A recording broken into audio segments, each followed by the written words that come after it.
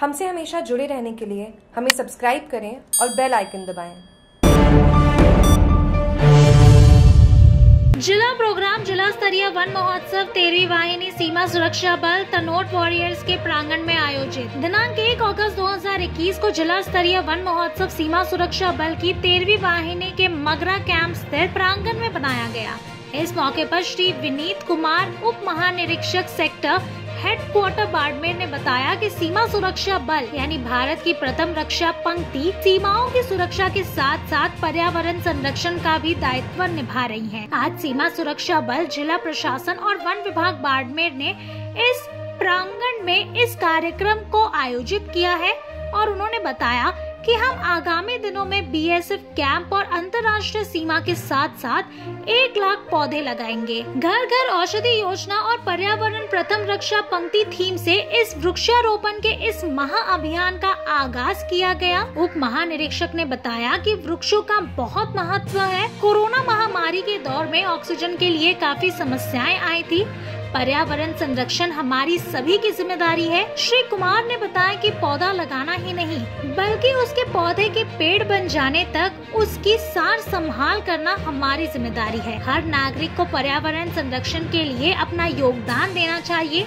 इस मौके पर श्री राजेश नेगी, द्वितीय कमान अधिकारी एवं कार्यवाहक कमांडेंट तेरहवीं वाहिनी तनोट वॉरियर्स ने धन्यवाद ज्ञापित किया और इस मौके पर पधारे हुए मुख्य अतिथि और अन्य अधिकारियों, जवानों, महिलाओं, मीडिया कर्मियों एवं बच्चों का आभार व्यक्त किया। इस मौके पर श्री राजेश कुमार यादव, द्वितीय कमान अधिकारी, श्री बनवारी लाल उप कमांडेंट और श्री संजीव तिवारी, सहायक कमांडेंट तथा सीमा सुरक्षा बल के कार्मिक और उनके परिवार मौजूद रहे।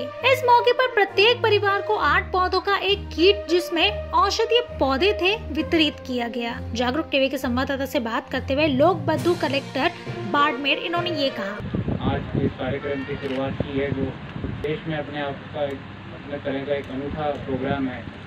इसमें घर घर औषधि योजना में हर परिवार को चौबीस पौधे अगले पाँच साल में दिए जाएँगे। इसी साल हम बाड़मेर में सवा दो लाख हाउस होल्ड्स को कवर करते हुए उन्नीस लाख पौधे पहुंचाएँगे। और ये सब जो पौधे हैं, इनकी पुरानी मेडिसिनल वैल्यू है। हमारे यहाँ आयुर्वेद का कल्चर रहा है। हमें इस इनकी महत्व इनका महत्व पता है और आज के दिन जब कोविड समय में इनका महत्व और भी सामने आया है, जब लोगों ने अपनी इम्यूनिटी इनका यूज़ करते हुए बूस्ट की है।